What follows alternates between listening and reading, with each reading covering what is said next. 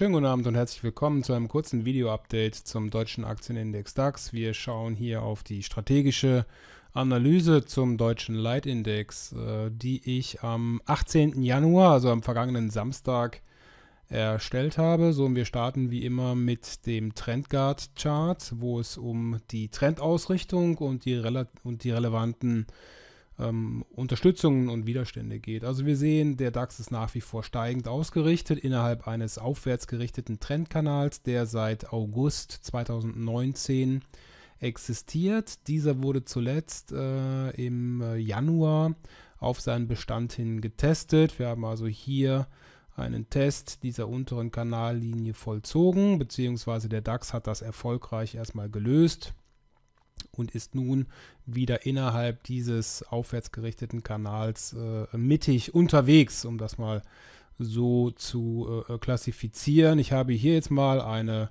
Kanal-Retracement-Linie für Sie gezogen. Das ist die orangefarben gestrichelte. Das ist also ein Retracement-Level äh, äh, innerhalb dieses Kanals.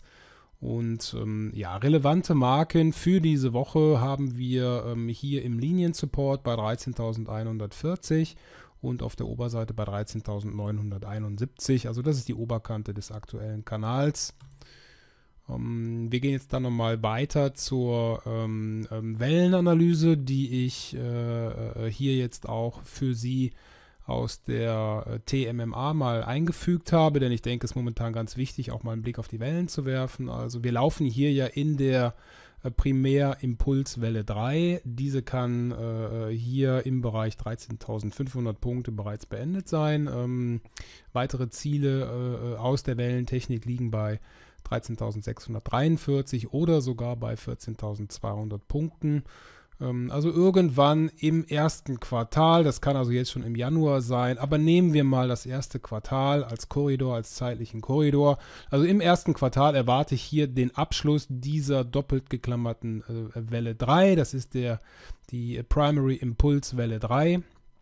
Abschluss und dann einmünden in die Welle 4 abwärts. Das dürfte dann auch eine etwas deutlichere Korrektur sein, weil dann halt der Anstieg seit August letzten Jahres äh, äh korrigiert wird.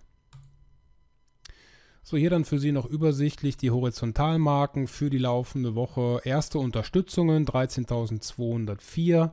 Nächste sehr, sehr wichtige Unterstützung ähm, horizontaler Art ist das Tief aus dem Dezember bei 12.887 Punkten und auf der Oberseite haben wir im Augenblick lediglich das Allzeithoch vor der Brust bei 13.597 Punkten. Also, ähm, dieses Allzeithoch ist nach wie vor im Fokus. Die US-Märkte haben ja bereits in der vergangenen Woche wieder neue und frische Allzeithochs gemacht. Äh, mal sehen, ob der DAX äh, auch die Kraft aufbringt, um in der laufenden Woche hinterherzuziehen. Vielleicht gibt es ja den einen oder anderen schönen Kommentar zu den Automobilwerten, denn die haben den DAX in der vergangenen Woche ein bisschen ähm, äh, in Schach gehalten, beziehungsweise haben als nicht unerheblicher Bremsanker äh, fungiert, denn ähm, es ging sowohl bei den Automobilwerten als auch bei einer Continental ähm, abwärts in der vergangenen Woche aufgrund äh, Äußerungen äh, von Seiten äh, Donald Trump. Vielleicht können die jetzt in der laufenden Woche den DAX ein bisschen anschieben und dann mit dafür sorgen, dass der Index hier ebenfalls ein neues Allzeithoch markiert.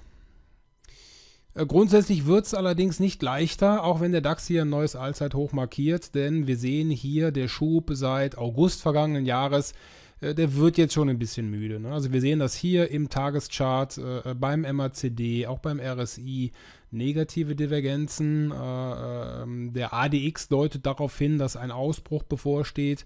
Ähm, also die Indikatoren im Tageschart, die zeigen ein eher gemischtes Bild. Ähm, großartige Impulse kann ich hier nicht feststellen, zumindest nicht auf, auf äh, Tagesbasis. Im Wochenchart, da sieht es ein bisschen positiver aus, aber äh, grundsätzlich ist diese Rallye, die jetzt seit August vergangenen Jahres läuft und die immerhin über 2000 Punkte schon nach oben gebracht hat, ähm, ähm, ist die an einem Punkt, wo äh, die reif ist für einen Rücksetzer und äh, man sieht das auch, die Indikatoren sind ein bisschen müde. kommen nicht so wirklich hier unten aus dem, aus dem Quark und haben auch negative Divergenzen produziert. Nichtsdestotrotz, ähm, solange der DAX hier oberhalb von, ähm, ich sag mal, 13.260 ähm, notiert, beziehungsweise hier oberhalb von 13.140 bleibt das Gesamtbild ähm, grundsätzlich erstmal freundlich ähm, nach meiner Bewertung und äh, eröffnet äh, somit dann auch äh, noch ein bisschen Luft auf der Oberseite.